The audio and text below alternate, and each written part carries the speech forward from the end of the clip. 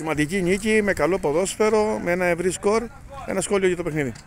Ε, πρώτα πρώτα θέλω να ευχαριστήσω τον Εργοτέλ για τη φιλοξενία. Θεωρώ ότι γίνεται μια πάρα πολύ καλή δουλειά. Θεωρώ ότι πολλά παιδιά από αυτούς θα είναι οι αυριανοί επαγγελματίες. Το εύχομαι αυτό το πράγμα να γίνει. Συγχαρητήρια στον Γιώργο για τη δουλειά που κάνει και το ποδόσφαιρο που προσπαθεί να παίξει.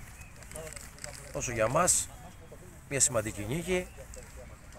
Θεωρώ ότι πλέον έχουμε μπει στην τελική ευθεία. Νομίζω ότι η σοβαρότητα που πρέπει να δείχνουμε είναι σημαντική. Σήμερα τη δείξαμε